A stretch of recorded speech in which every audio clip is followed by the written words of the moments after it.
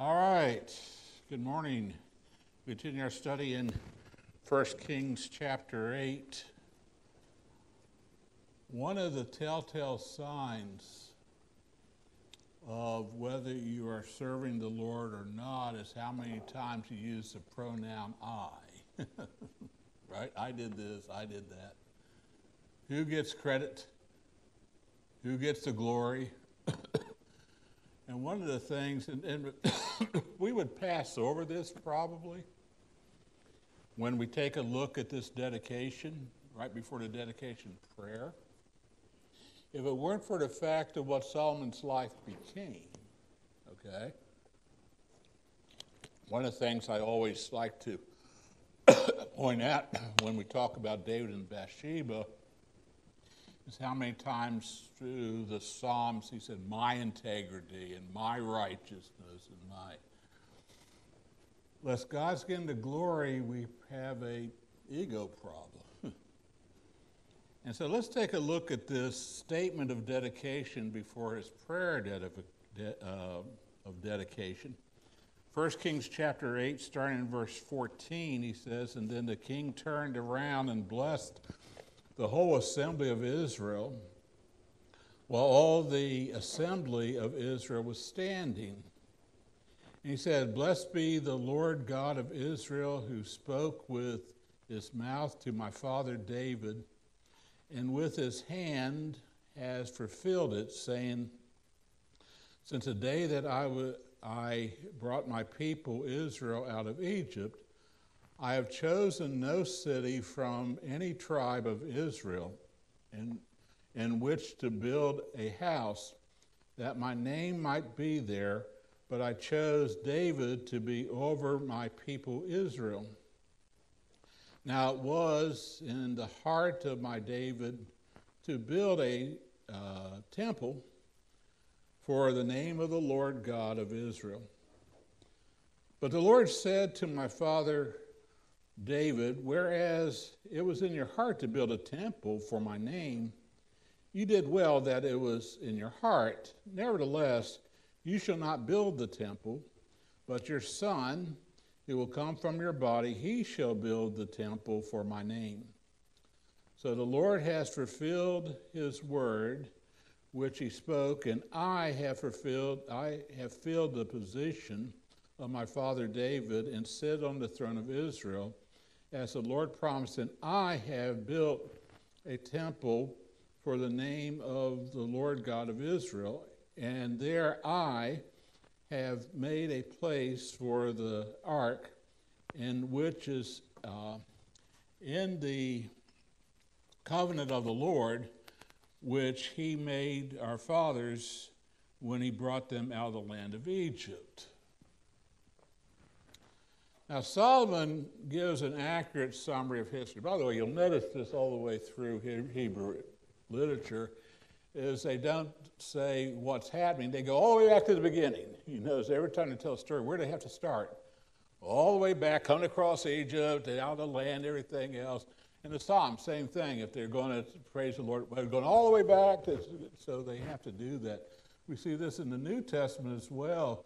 Stephen, where does he start? All the way back to Abraham, goes all the way through the history.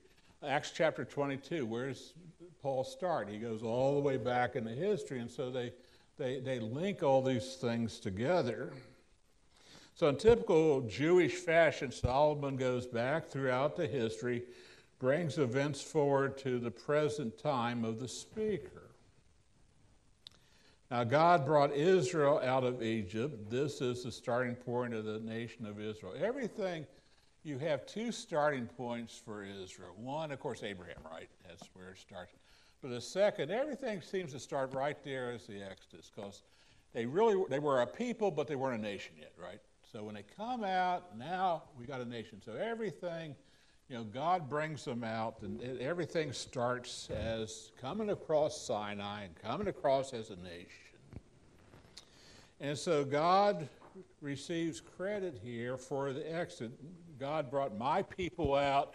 And by the way, this is a, a, quotation out of the book of Exodus and out of Deuteronomy. He's quoting what God says, I have done. Uh, God had a singular purpose in bringing Israel out to make a people for who? For Himself, right? This is going to be my people. They're going to, there's going to be a covenant with the people. They're to worship me. I'm going to be their God, and, and they're going to be my people. That's what He's going to do. Now, several pertinent points he makes in the summary. First of all, for centuries, God had directed Israel to carry the tabernacle, but not to build a temple. We're talking about this tabernacle, this tent, which I'm sure they've replaced a few parts over the years. For four centuries, they're carrying this tent around. And in the wilderness, it moved many times. And we at least have three moves and after they get into the land. So this tabernacle is a tent. So God's dwelling in this tent. And God brought them out of, of Egypt, and now they're carrying this tabernacle. And God says, Listen, I haven't, I haven't asked you to build a temple. You know, so when God chose David to be king, David says, okay, now that I've been established and now that you promised that I'm going to have descendants on the throne forever, uh, now I want to build a temple. And God says, that, that's good, but you're not going to build a temple because you're a what? You're a bloody man. Literally in the Hebrew, you're a man of blood. Uh, lot of fighting and a lot of bloodshed. So you're not going to build a temple. It's going to be a man of peace your son's going to build a temple, someone that comes from your body, going to build the temple for me. So David did the next best thing and just collected a lot of material for the temple. And so David desired to build a temple. God didn't allow it. God promised that David's son would build a temple. And Solomon fulfilled that promise, and this was the day of dedication. This is one of the red letter days on the calendar, just like tomorrow is a red letter day in the history of our nation, right? The 4th of July. And uh, by the way, the 4th of July is a signing day. They actually voted on July the what? The, the July the 2nd to do this, but they had to get back from the printers, you know. It wasn't, they couldn't go down to Staples. Yes. What's that? Oh, okay, we've got back at there. Yeah, okay. All right, there you go. Okay, thank you for that. And so, so it, it comes, you know, by the way, that, this is just a side note. It has nothing to do with the message here. You know, we celebrate June, uh, Juneteenth, right? 19th, you know, the last slaves here. Well, actually, not all the slaves were free until December the 6th, 1865, with the ratification of the 13th Amendment the border states of Maryland, West Virginia, Kentucky, Missouri, the slaves were not free because the slaves in emancipation were only free in the rebel held states. So the actual Emancipation Day is December the 6th of 1865 with the ratification of the 13th Amendment. That's just a, that's just, that was a commercial. That's just a side note, you know. And so some things aren't always what they seem to be. And so the, the Ark of the Covenant uh, was now in a permanent home in Jerusalem. And by the way, I, as I mentioned last week, this plays into the end times because if there were a tabernacle still, it could move anywhere, right? The tabernacle could move all over the place, but the temple had to stay exactly in the spot it's built. And of course, there's a mosque there today. and so, for the temple to be rebuilt, something's got to be done with this mosque. Now, God accomplished his will for his purpose for Israel to exalt his holy name. Now, there's a hint of self exaltation here. As I say, we wouldn't even notice this, I don't think, if it were not for the fact that Solomon ended up glorifying himself, collecting things, collecting wives, building palaces, everything else afterwards. But you have a subtle hint here. In two verses, he uses the pronoun I three times. Solomon used the pronoun I, saying, I, for, I filled the position on my father David. I built the temple for his name. I made a place for the ark. Interesting. Did Solomon do that by himself? Matter of fact, how many, how many stones or uh, or uh, pieces of wood did uh, Solomon himself lay? Probably like zero, right? Okay, who's the one that gave him peace and material to do this? Who's the one that gave the resources? It was God, okay? He says, I built the temple. I fulfilled, I filled the position of my father David. I placed the ark in here. So Solomon could have meant that God used him to accomplish that, but that's not what he says. Nor does he say, for the praise of the glory that the Lord allowed me to do this.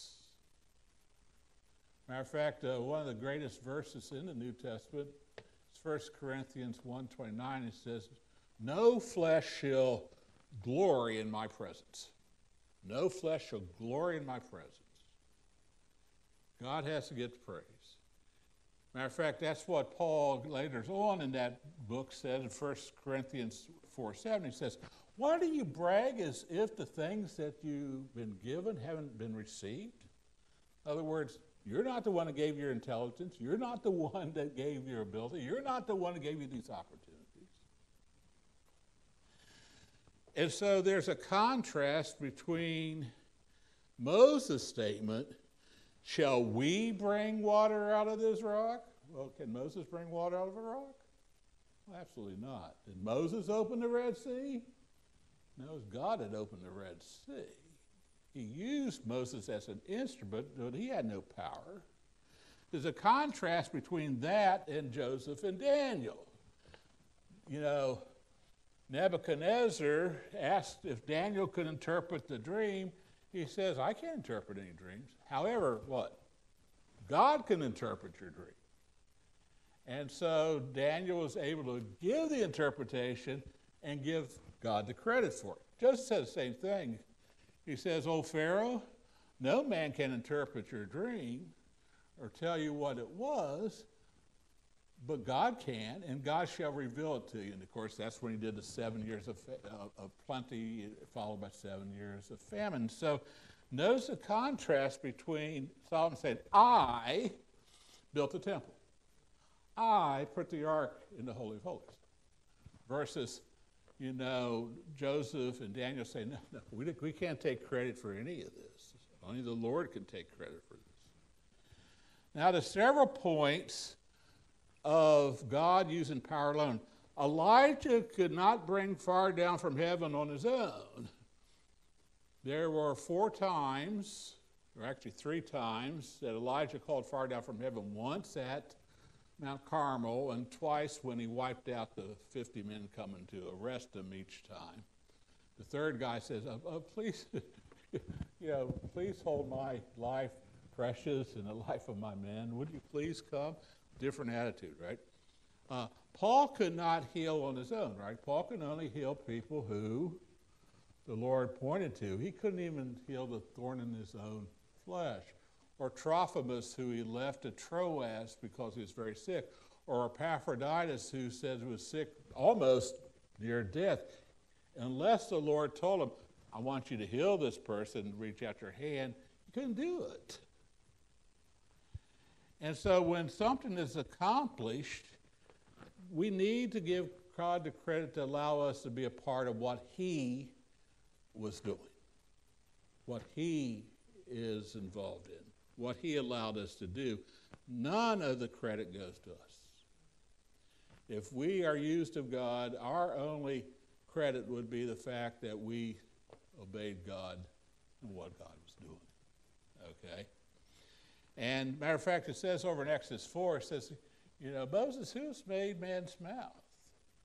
Who's made the dumb dumb and the lame lame? is I, the Lord, that raises up and brings down. See, the Lord, none of these, none of these things happen unless the Lord gives permission for them to happen. And so, and besides that, Mr. Solomon, it took a lot of people to build that temple. It took a lot of people right, to carve the stone. It took a lot of people to bring down the wood. It took a lot of people to put all this together. And you say, I did this? I did that? No, no, Solomon the Lord allowed you to be able to lead this project, but the Lord must get the glory. So, by not publicly giving God credit for the building of the temple, Solomon demonstrates a character flaw. And as I say, had he served righteously throughout his thing, we wouldn't even notice this. But you notice this, for example, when we go to the 11th chapter of 1 Kings, it says Solomon loved many women. well, what does that really mean? Well, he lusted after many young, pretty virgins. And 700 wives may be a little bit overkill, don't you think? and 300 concubines, a little bit overkill. Yay! oh, fantastic. We'll go call you up later on the morning service with a new baby here. It's wonderful. Just stole the show here. Okay. And so, uh, and Deuteronomy chapter 8. Deuteronomy chapter 8 is one of the great passages of the Old Testament. It says, he says, Israel is, I'm the one that gives you the power to gain wealth. I'm the one that gives you the power to grow crops. I'm the one that gives you the, it is I, the Lord. If it were not for me, you couldn't do any of this. And so we have to keep in mind if the Lord has given you a uh, nice job and a nice house and transportation, it's Him. You know, you might have followed right, you might have been used by the Lord, but without the Lord. I met a lot of people when I was overseas, smart, intelligent, everything, but not does not have the opportunity we have. It's God that gives you that. It's the God that opens that up for you. And so, uh, so He is the one. We can't boast of anything, uh, but in Jesus Christ. Matter of fact, that's why in 1 Corinthians 10.31 we have the passage, whether you eat or whether you drink or whatever you do, do what? All to the glory of God. I mean, even the simplest things, God's the one that allows you to have the food or the clothing, you know, or just the intelligence. It's all to God's glory. That he might be, as it says in 1 Corinthians 15, all in all. Paul was beginning to forget that. So God sent a what? Thorn in the flesh. Second Corinthians chapter 12, that it remind, remind him that he was just a man after all, right? And so the signs of, here are the signs of pride. And then we'll have our, our discussion this morning. First of all, glorying in accomplishments. We see this Nebuchadnezzar. Oh, what a great kingdom of Babylon I have built. and the Lord struck him with what uh, is known technically in medical forms labiomania. He went out of his mind. he thought he was an animal. Coveting someone else's place. We see this with King Uzziah. He decided, king's being pretty good, but I'd like to also be a priest and sacrifice. And he went into the te- temple to sacrifice, and God struck him down with leprosy. uh, the overuse of the pronoun I. I remember someone calling, and you know, he was telling me how great he's, you know, servant of God he was. And, and I ticked off. I says, after he finally took a breath, I said, You realize you just said the word I 28 times. now, he didn't take that very well. He went on with his life. Later on, he apologized. I said, I understand now what you mean. It's not about I, I, I, I, right? I understand. I understand. That's right. I understand what you mean. I, I, I, I, I. You know, uh, taking credit. Uh, we see this with Herod. Acts chapter 12. This is Herod Agrippa II. He stands up and they say, Oh, it's a God speaking, it's a God speaking. And he took credit for that, you know, and he said God struck him down. And matter of fact, Luke, the physician, says he was eaten for three days by worms from the inside, which probably would not have been a very pleasant way to. exactly. Yeah, sure. Uh, not be a pleasant way to go, you know. And so, uh, abuse of our gifts, Samson. How many here think Samson was a big show off? yeah, you know, instead of giving God the glory, you know, you know, he, he matter of fact, remember the poem he wrote about himself after killing all those Philistines? you know, swinging it around and killing a thousand and everything. You know, he, you have that in 1 Corinthians 12 and 13 where Paul is chastising them for boasting about the gifts God has given them. right? Uh, desire to be honored. You had that with Haman, right? Haman wanted everybody to bow down before him in, in, in Persia. And Mordecai refused to do that. And you know the whole scenario through the book of Esther, how the Jews were saved. Uh, Cain, same way, right? Cain, uh, why wouldn't you accept the offering I gave you? After all, don't you know I'm Cain?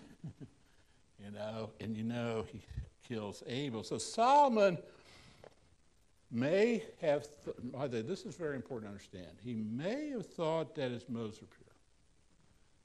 Pride can be very, very subtle, can it?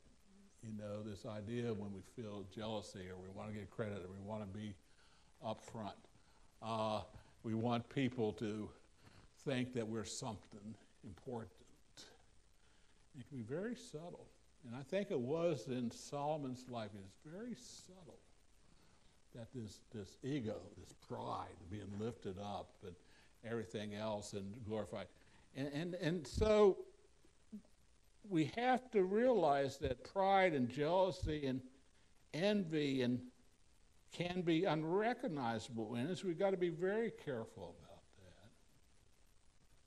that. Now, listen, Solomon had to figure, and, and, and I, I think he went the wrong way was he glorying in the accomplishment of the temple, or was he glorying in the God of the temple? There's a difference, isn't there? Matter of fact, you had that hint in the disciples. He says, Look at this great building. and Jesus says, You know, you see these stones in this building? I'm telling you right now, there's going to come a day where what, not one, one stone will be left on top of the other, and it'll all be burned. They were shocked. Then he said something that really blew their mind. He says, I tell you, destroy this temple in three days, I'll raise it up. Now, he wasn't talking about the building, right? He was talking about the resurrection. I'm going to say something, and, and I don't want this misconstrued uh, because a lot of us like some of the teaching preaching of John MacArthur, right? And but some of them he's off quite a bit. Well, there was a controversy. He was a member of the IFCA and at Limerick Chapel up in Pennsylvania. I mean, he, sometimes he gets so big as a Christian celebrity, you think what you say is pontification and he, had trouble. He wasn't eternally the Son. He became the Son. He did things like this, things like that. And he stood up there, and, and I don't want to, if you're a big MacArthur fan, I don't want to, but he actually stood up and said this. He says, okay, I'm holding here the doctrine of the IFCA, and he lists the seven people in the committee, uh, which included uh, Dr. Freeman, included uh, one of the pastors who was actually up here in New Carrollton, uh, and he listened, and then he threw it down and says, whoever these guys are. And he just said it that way. I just said, what? In other words, I'm John MacArthur, whoever these guys are. We've got to be careful. We've got to be careful that we don't get bigger than Jesus. that when we what we say is coming directly from the throne what we're saying, everything. We've got to be very careful. I remember a statement Tim, Tim Keller said. He said, I never wanted to be a celebrity, you know, because now they're looking to me instead of the Word of God. And that's a very dangerous position to be. In. And so Solomon was, at this point, was glorying in the building of the temple. And his prayer is wonderful. But we see the rest of his life that perhaps he was glorying in the temple and not in the God of the temple. Let's pray and we'll have a discussion. Dear Heavenly Father, thank you, Lord, for this day. We thank you, Lord, for the privilege of being here this morning. We just pray, Lord, that you will just uh, honor and, and, and, and glorify your holy name in and through us for whatever uh, you want us to do, whatever you want us to accomplish, Lord, that be all to your glory and in your name, for it's in Jesus' name we do pray.